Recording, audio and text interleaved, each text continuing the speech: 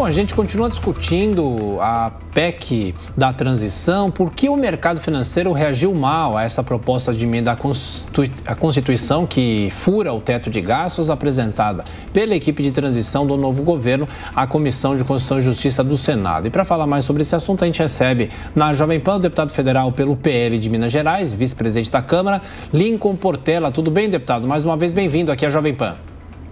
Tudo bem, é um prazer muito grande estar com aqueles que participam sempre da Jovem Pan, Tiago, Lívia, Amanda, Mota e também nosso deputado Paulo Eduardo. Prazer Obrigado. grande poder, nesta manhã, falarmos um pouco sobre a PEC do estouro. É isso, deputado. Será que há alguma saída para amenizar esse clima de mal-estar com o mercado? A saída é fazer com que entendamos que não vivemos mais na década de 1960, 1970, quando nós tínhamos um comunismo super atuante aqui no Brasil. 70, melhor dizendo, 80, 90, melhor dizendo, antes era a questão do regime militar. E nós temos que sair dessa hermenêutica horrorosa colocada pelo atual vencedor inicialmente das últimas eleições. Então, temos que perceber que isso não faz bem para o Brasil. O teto de gastos foi instituído em 2016, diga-se de passagem, com o apoio contrário, maciço, da bancada da esquerda. Então, foi a emenda constitucional número 5 ou 95 que teve origem na PEC 241. Então, não podemos trazer mais esse modelo do governo passado para a época de hoje. Então, ficamos um tanto quanto desconcertados nesse sentido. Nós precisamos de ter investimento, saúde e essas coisas. Essas coisas. Sim. Deputado, na sequência das perguntas dos comentaristas, começando por você, Roberto Mota. Bom dia, deputado. A PEC e, a, e as declarações de alguns políticos do PT demonstram, exibem um desconhecimento assustador ou uma indiferença em relação a princípios básicos de economia e gestão pública. Né? E alguns observadores dizem que isso não é um erro, isso é o projeto político deles. Como o senhor imagina que o Congresso vai conseguir lidar com isso? Mal. Ou perdão, bem, o Congresso vai trabalhar muito bem nesse sentido. A bancada é, do nosso partido está muito consciente, a bancada do PL, inclusive entendendo que é um absurdo não compreendermos que o mercado é de toda a sociedade. O mercado não é de um governo. E é a sociedade quem produz os bens de consumo. Isso é de fundamental importância. E esse mercado é a própria sociedade. E ele quer o quê? Estabilidade nós já chegamos com uma hermenêutica equivocada lá é, na COP é, é, no Egito foi terrível e aquela hermenêutica foi, para mim, a pior possível. Uma fala para dentro de casa, uma fala para os seus eleitores de esquerda que não condiz com a realidade brasileira. A realidade brasileira é totalmente diferente disso. Deputado, quem pergunta agora é Amanda Klein.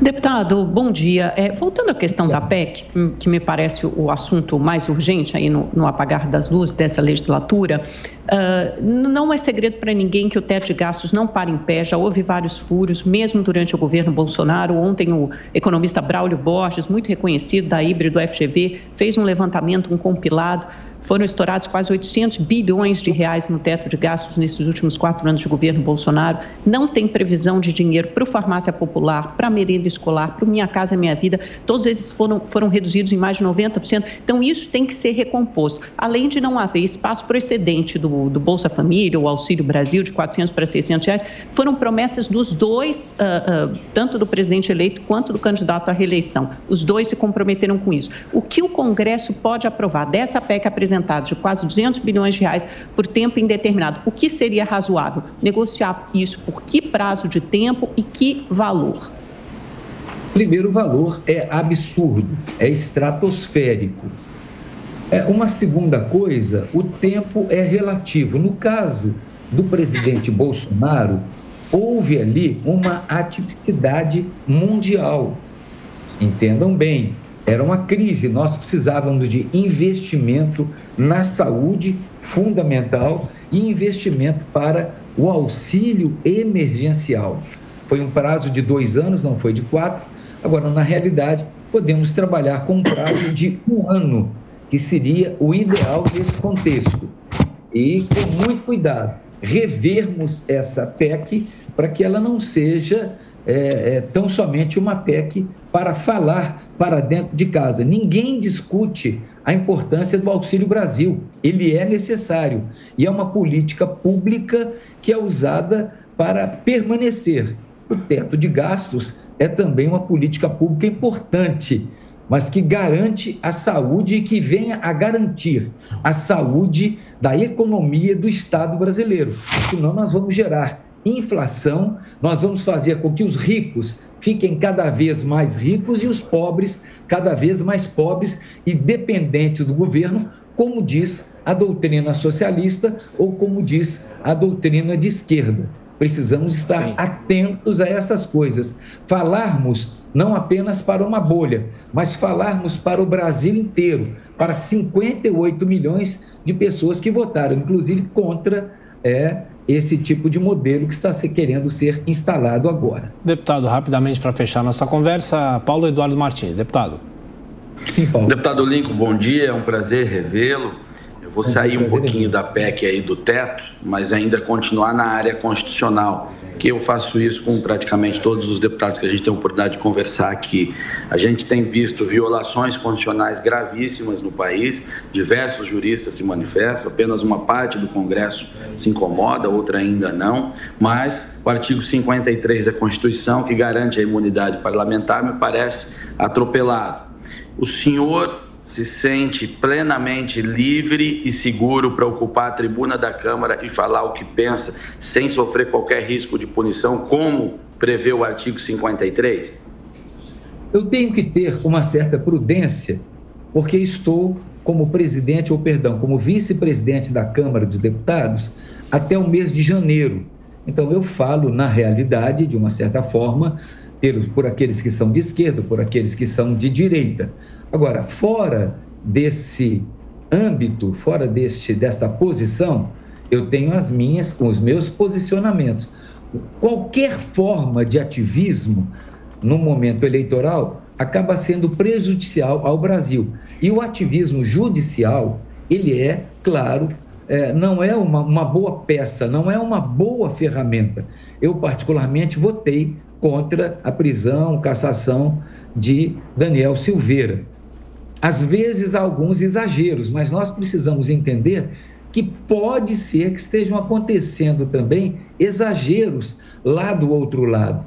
Nós, parlamentares, não nos sentimos completamente confortáveis porque temos um certo receio de dizermos uma palavra e a interpretação desta palavra gerar um, um, uma crise para esse parlamentar. Nós temos, pelo menos no PL, 10 parlamentares que já foram censurados, suas redes sociais foram tiradas. Qualquer coisa que se fala é um problema. Várias outras pessoas no Brasil, empresários, religiosos, pessoas da sociedade civil organizada, também tiveram um impedimento em suas redes sociais. E isso realmente não faz parte de um processo Sim. democrático bem posicionado, apesar da hermenêutica dizer que é em favor da democracia. Eu entendo que a democracia não é apenas um lado. A democracia é, dela faz parte de todos os lados, aqueles que são do centro, da direita, da esquerda, aqueles que são os isentões que hoje estão vendo a irresponsabilidade causada, alguns até por doença, não puderam votar, outros okay. por outro motivo qualquer, tivemos um problema sério nesse sentido. A participação de todos é fundamental.